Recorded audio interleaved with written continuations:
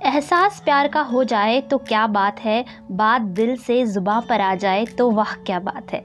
दोस्तों, कई बार प्यार का एहसास जितनी जल्दी हो जाता है, उसे ज़ाहिर करने में उतना ही लंबे समय लग जाता है।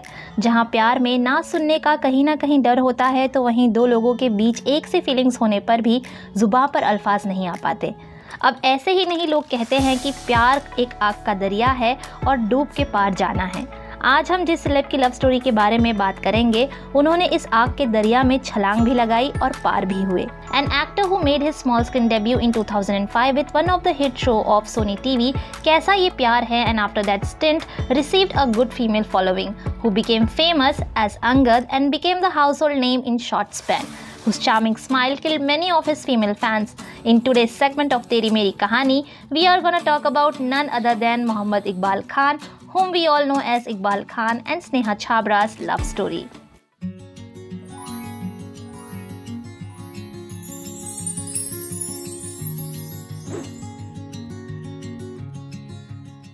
Charming Iqbal Khan and gorgeous Neha Chhabra की पहली मुलाकात हैदराबाद में हुई थी फाल्गुनी पाठक के वीडियो नेम मैं तेरी दीवानी हूँ की शूटिंग के दौरान at that time Sneha was only 16 and Iqbal thought her to be a little kid इस म्यूज़िक वीडियो के शूट के बाद इन दोनों के बीच कोई कांटेक्ट नहीं रहा, लेकिन कहते हैं, जब किस्मत में लिखा हो मिलना तो लोग मिल ही जाते हैं।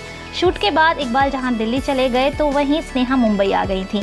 एक इंटरव्यू में खुद इकबाल ने कहा था we never called not S M S to each other I had almost forgotten her and suddenly one day I bumped into her Film Fantosh was almost over. I was chilling out at just around the corner in Bandra, and I saw her familiar face sitting right across the table. उस दूसरी मुलाकात के बाद इनके बीच अच्छी tuning हो गई थी और इन दोनों की फ़ोन पर बातें होने लगी थी। हालाँकि इकबाल का कहना है कि स्नेहा उन्हें तभी पसंद करने लगी थी, ये उन्हें एहसास हो चुका था।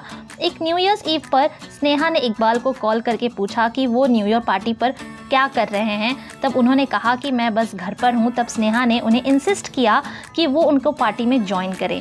दो Iqbal was apprehensive to go to strangers place but something within him took him there After that, they both started meeting every day. They could not do without each other. But though they didn't confess their feelings to each other for a long time, the outcome was crystal clear. They both could feel it from inside.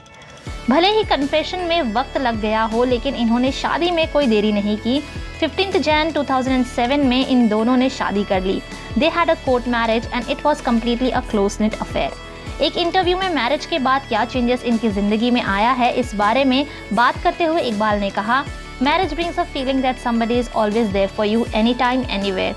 Irrespective of whether I perform well or not, I know there is somebody in this world in whose eyes I am the hero. 2011 में Iqbal and Sneha ने अपनी princess को welcome किया and they name their little munchkin Amara Khan आपका क्या कहना है इस लेट कन्फेशन लव स्टोरी के बारे में which was destined to happen हमें कॉमेंट सेक्शन में लिख कर ज़रूर बताइए। आपको ये वीडियो पसंद आया हो तो लाइक शेयर कॉमेंट करना ना भूलें। आपने हमारे चैनल टेलीचक्कर को अगर अभी तक सब्सक्राइब नहीं किया है तो अभी कर लें और बेलाइकन भी दबा दें, ताकि आपको सारी latest updates and notification time to time मिलती रहे।